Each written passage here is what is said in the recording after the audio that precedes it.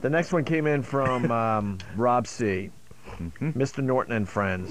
Oh, His uh, Dickie Goodman remix for the Opie and Anthony program. We're here in the Opie and Anthony studios talking to co-host Jim Norton.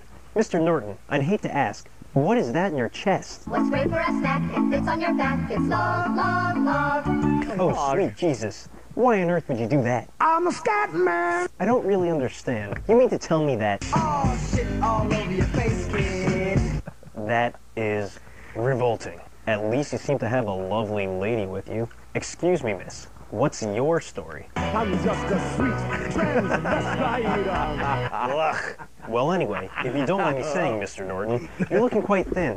What's your secret? Exercise? Diet? AIDS. Um, I'm sorry, I didn't quite catch that. Did you just say you had? Okay, I guess I did hear you. So what do you do in your spare time as you slowly waste away? And you just sit at home and masturbate. With me that was Martini Steve, the producer of the Opie and Anthony Show. So you've successfully duped the O&A fans into doing your production work for you again. How do you keep pulling this scam? Yogi Bear is smarter than the average bear. Steve, many of your promos feature deep voice socialites, houseboys named Ramon, and extreme violence towards women. How do you explain this? Cause I'm American psychopath. Ramon, hybrid cars are for faggots. Just arriving is executive producer Ben Sparks. I'd hate to ask, but what happened to your hair? Here comes the story of the hurricane. Oh god, you're herking and jerking like crazy. And what is that bulging out of your shorts? I've got big bones. I've got big bones. Is there any new gossip you'd like to tell us about Mr. Sparks? Perhaps a new rumor about Tom Brady?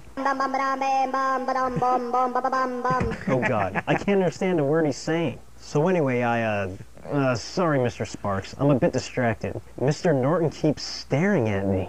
Mr. Norton, why do you have that look on your face? Are you trying to say you want to...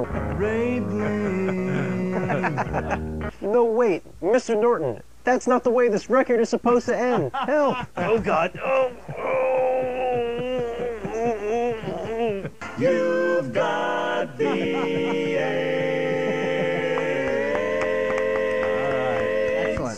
Excellent. Now that's the way it's done. Not Excellent. bad. He could have had more of a Dickie Goodman delivery, but I won't hold that against him because his material was very strong. Yes, definitely. That uh, Who was that? that also gets a passing grade. Rob C. came up with that one. Rob C. Bravo. Yes.